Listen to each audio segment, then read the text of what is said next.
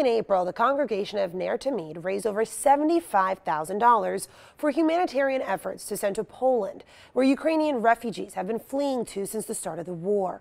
Rabbi Sanford Axelrod is a local Valley rabbi who, along with 22 other rabbis from around the country, traveled to Poland to witness the devastation at the Polish-Ukrainian border. His congregation has continued keeping close tabs since his trip, and this weekend a special guest speaker is igniting this conversation once again on how the Valley can help these efforts from 5,000 miles away.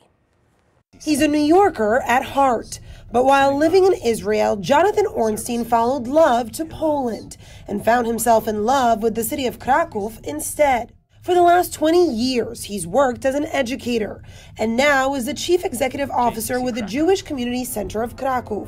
We understood that there would be a, a, large amount of refugees coming once the war started, which surprised all of us on February 24th. And our first idea is just to do all we can to help. JCC has been a leader in serving over 190,000 Ukrainian refugees at their spot in Krakow.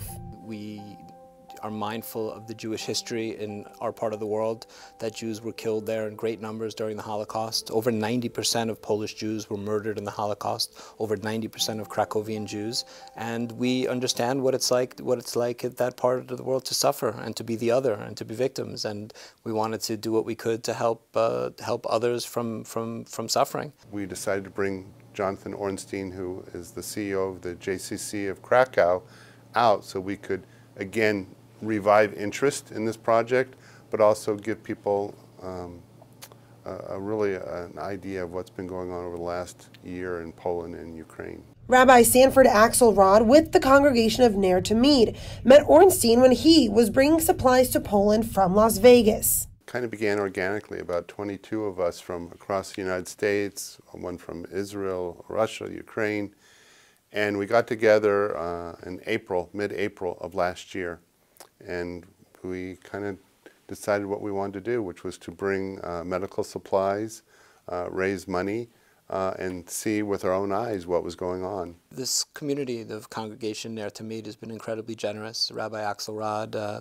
coming to visit us in, in, April and bringing support from this community.